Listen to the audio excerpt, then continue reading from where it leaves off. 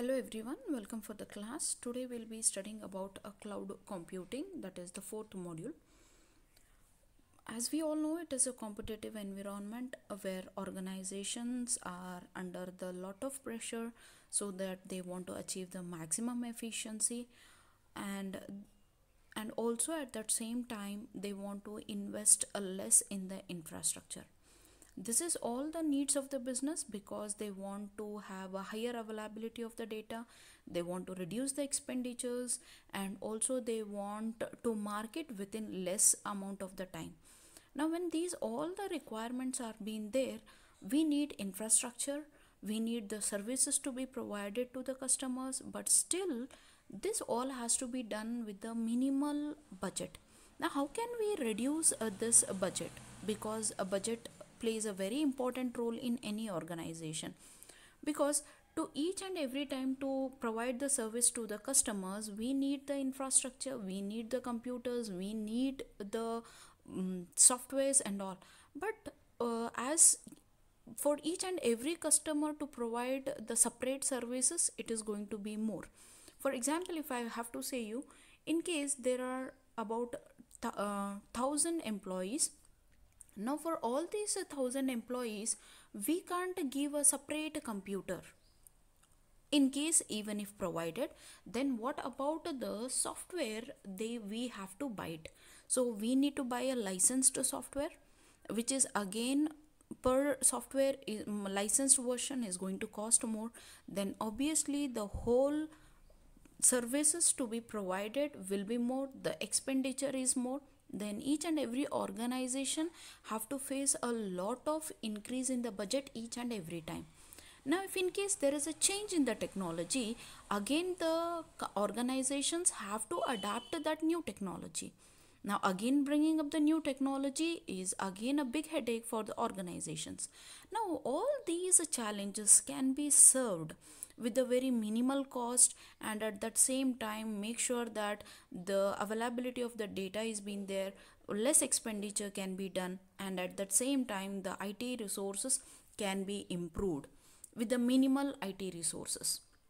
So the term called as cloud computing is being coined uh, which is a model for enabling ubiquitous convenient on demand network access to a shared pool of configurable computing resources that can be rapidly provisioned and released with minimal management effort or service provider interaction.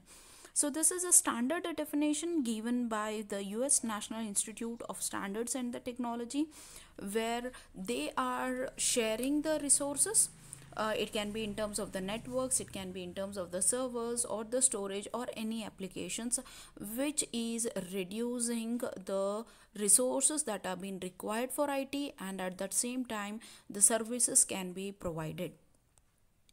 Uh, before the cloud uh, was being uh, getting into existence what were the technologies that made this cloud to come into the existence? The first one is a grid computing.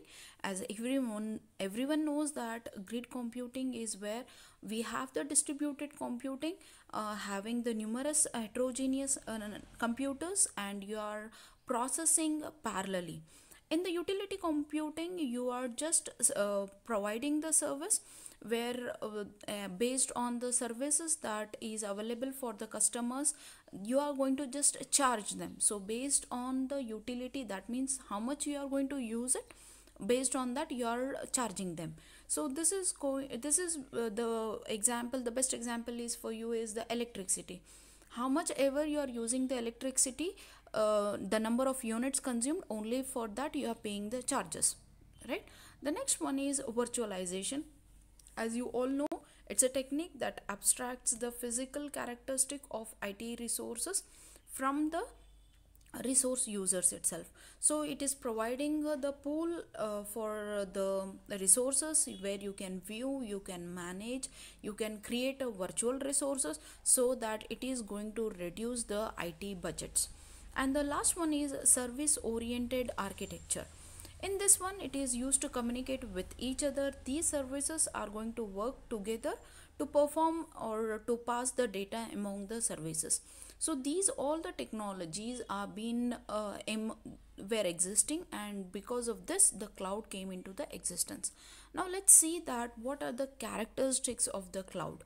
The first one he tells it is on demand self service so that means whenever you are demanding any service or you are demanding for the request at that time it is being provided for you. So in this one they are going to say that uh, what will be the charges for each and every service you are requesting. Uh, same like the menu card when you go it is been written whatever dish you order in front of that the price is been there. The same way here as and when you are going to demand the resources it can be your uh, storage it can be the server or it can be the applications any applications you are requesting. So according to that the uh, prices are being given for you and you can utilize for that particular period of the time. So it there is no need for you to install any particular applications or to buy any software. The second one is uh, the broad network access here the broad access broad network access is you are going to access uh, the the any sort of the softwares irrespective of any platform. It can be from your mobile phones or your tablets or your laptops or the workstations. The third one is measured service. In this one it is uh, providing you the control and you can even optimize the resources based on the amount you are trying to use it. Uh, so here it is going to provide the services to to the customers and the service provider is being there. He is going to monitor the resources. He is going to control. If any sort of the errors are being there it can be reported and at that same time the transparency can be provided uh, can be maintained both at the provider and also at the consumer. So the next one is resource pooling. And the resource pooling is uh, you have lots of resources which can be shared. Instead of buying it separately you are going to uh, have a group of the resources you are going to share it. For this simple example i have to say is uh, a family is being there which is having seven members. Now all the seven members can't buy a car because it is going to increase the cost of the living right? Instead of that if they buy one car or two cars which can be shared based on their needs. So the same way resource pooling is also done in that way where they are going to serve the consumers uh, based on the multi-tenant model where they are applying and you won't be knowing where that exact location of the uh, resource is being provided. And the next one is a rapid elasticity in the rapid elasticity you are looking at how best you can provide the uh, capabilities to the customers based on their need. So either you can grow the network or you can shrink the network based on the resources. For example is that uh, many government agencies they go for the online exams uh, so in this one they need more number of the servers at that time there is no need for them to buy but instead they can go and approach to the clouds where they'll be requesting for the servers. For that only particular day they will be charged and again the servers can given back to the cloud. Uh, if in case they want to buy and after that time even those those servers may be used or may not be used. So unnecessary there is the wastage of the resources. So the cloud is going to help to cut down the wastage of the resources which may be used in future or may not be used in future right? So these are the characteristics. If in short i have to explain to you people is having the resources to utilize them very efficiently so the cloud is helping us. Based on the resources available i request to the cloud and i use that one there is no need for me to particularly install or buy any kind of the softwares licensed versions of the software for me. So it may i may use those softwares or may i may not use those softwares which may go to the scrap. So that can be avoided with the help of the cloud. The next one is what are the benefits of cloud computing so as you know the first one is it is going to have the reduced IT cost uh, there is a business agility flexible scaling and high availability.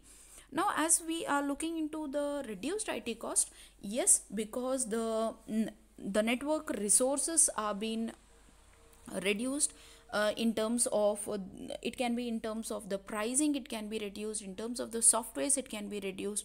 So this is overall it is going to eliminate uh, the expenditure the capital expenditure that is spent in the IT and next one is business agility where you can allocate and you can scale the computing capacity as and when it is being required uh, you may if you in case you want to install any new applications you can install it. You can give the service for particular months or uh, particular days. And again if you are not using it you can uninstall it. Now for example if i have to say the very the live example is you go to the play store whichever application you want you are going to install it uh, there is no need for you to download any particular uh, software based according to that. Irrespective of the platform you are installing your applications you are uninstalling your applications right? So this is how the business agility is been moving and you can share it.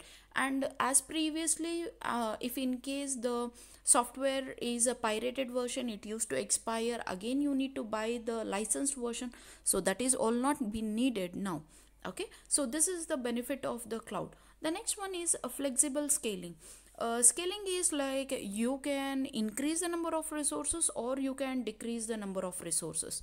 For example now in this pandemic as you can see that all the organizations have been closed and the people are working from home right?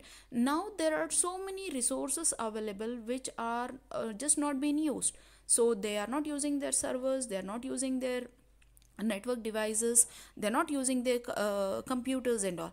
At this uh, period of the time the network or i can say that it is scaling down and they just want only the servers and the storage. Uh, they don't need any more network devices to be working. So now what is that? It is being scaled down and they are only going to see that how many people have been working and how much the storage is being needed.